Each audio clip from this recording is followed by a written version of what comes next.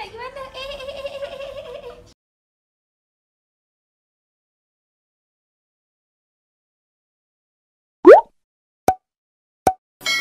Hai semua. Hari ni kita nak ulas pasal isu semasa yang melanda dekat negara kita ni sekarang adalah isu jerebu kan. Ha, jom kita pergi tanya tim jarum terbang. Dia orang tahu ke tak apa benda jerebu ni? Okay, kita nak terjah bilik belakang. Aku nak tanya kau satu soalan. Ya apa? Kau tahu tak Jan, sekarang kan kita kan tengah dilanda masalah jerebu kan? Hmm? Ha, jerebu tu apa? Apa benda jerebu tu? Jerebu tu. Dia Asap jerebu. yang berkepul-kepul. Apa beza jerebu dengan jelebu? Jerebu lagi sembilan. Padi tiga tangkai Jerebu, jerebu tu adalah molekul-molekul halus yang bergelimpangan kat udara. Jerebu ni asap tebal yang um, tutup ba- tutup bangunan. Dia pada eh apa aku cakap ni? Asap yang menutup pandangan kita uh, benda tu pun bahaya juga. Mungkin kita tengah bawa kereta kan asap tu terlalu tebal. So mungkin akan menyebabkan kemalangan. Tu semua berpunca daripada uh, kebakaran daripada bumi. Jerebu ni ialah satu uh, fenomena ataupun keadaan apabila partikel-partikel ataupun zarah yang berkumpul dekat sekeliling kita ni. Okey maksudnya dekat luar lah. Okey uh, yang terkumpul yang kita tak nampak dengan mata kasar kita. Okey so bila dia dia terkumpul dan dia menghalang untuk kita tengok uh, lalu bukan menghalang maksudnya kita uh, tak dapat tengok uh, sinaran matahari ke sebab dia terlalu banyak. Terlalu Ah. banyak ke terlalu tebal? terlalu tebal. Garing So dari situ dia bila dah jadi jerabu ni eh, jadi jerabu jadi jerabu ni eh, bila dah jadi jerebu ni kan dia macam mengganggu lah sedikit mengganggu lah kita punya pergerakan kita uh, aktiviti kita Kau pernah tak uh, sesak nafas ke disebabkan jerebu? Of course. Eh, tak adalah pernah. Tapi macam Yelah kalau asap banyak kot. Lagi-lagi kalau orang yang asma, orang yang paru-paru tak berfungsi dengan baik. kan lah sesak nafas kan. Hmm, ada jugalah pedih-pedih mata tapi kalau macam asma tu tak ada lah. Tu boleh tanya uh, siapa kaca? Bos. Ah, kalau jerebu, IPU apa yang tak sihat?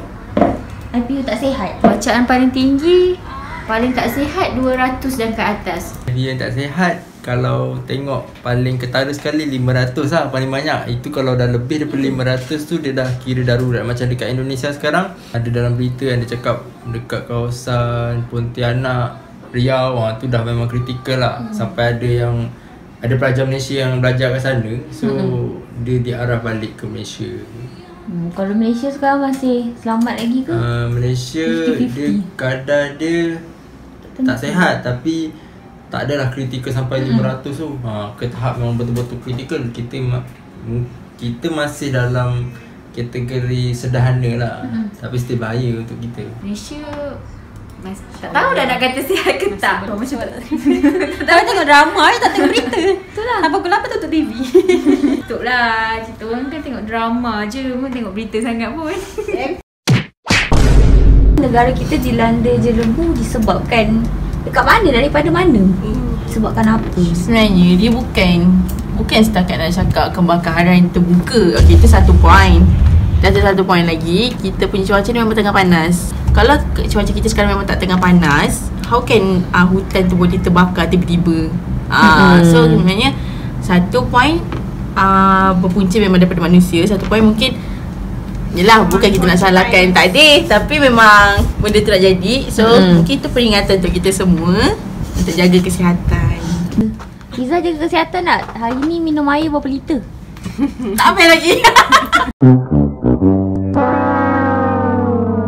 Golongan Ah. apa yang yang paling cepat sekali terkena Golongan benda jerebu ni macam cepat sangat sakit ke apa disebabkan jerebu? Uh, mungkin golongan yang dalam kategori uh, apa dewasa ataupun kanak-kanak. Kanak-kanak ah kanak-kanak yang paling sekali akan terkesan. Kalau sebab ibu mengandung? Kalau mengandung pun lebih kurang juga. Sebab dia kan ada antibody Kalau macam kanak-kanak Ada antibody dia mungkin ada yang masih lemah lagi. Hmm. So dia orang yang paling ketara sekali. Lepas tu ha, ibu mengandung. Zas ah, tadi dah siasat kita orang, kita orang nak siasat Aku pula yang kena. Sekarang ni aku pula kena interview kan. Cepat-cepat nak tanya apa. Orang mesti nak tahu berapa lama dah gadget kat sini. Hah? Eh ni soalan luar daripada jerebu Media ni. dia. Dah berapa kali dah kau bercinta? Dah tiga kali cewa. Ada tiga kali dah. Macam mana kau move on daripada tu? Ada tips tak nak move Eh on? ni tips move on pula. Kalau nanti move on, kau pergi dekat Facebook check feed feed Ira. Ah dia ada share pasal tips nak move on. Tips untuk move on ah. Teruskan dengan isu jerebu kita. Okay jom. Kesan dia macam kita tak boleh nak outdoor sangat lah Macam nak jogging pun mm kita tak boleh kan Macam mana kita nak jaga kesihatan kalau macam tu Habis kau pergi kerja dah masak tau. Pergi kerja jalan kaki. Macam mana? Pakai mask. Pakai mask, topeng Mas dia pun bukan mas yang biasa tu kan Mas Ha. yang tekap macam Tapi still boleh jogging li Kalau macam petang-petang perasan je ada orang jogging. Mungkin jerbuk sentiasa. Kita boleh jogging pada waktu petang. Cuma jogging tu ni lah Jangan tarik nafas. Kita kena pakai ni. Kat punya snorkeling tu. Tarik nafas. Tarik nafas. Lepas tu? Apa, apa? Uh, dah kita dah ada jerebu kan Ah, sekarang. Okey. Apa kesan dia dekat ekonomi negara kita? Amboi, soalan hmm. ekonomi negara kan. Okey, uh, susah tu soalan tu. Sekejap eh. Kesan jebu kat ekonomi uh, negara so far lah.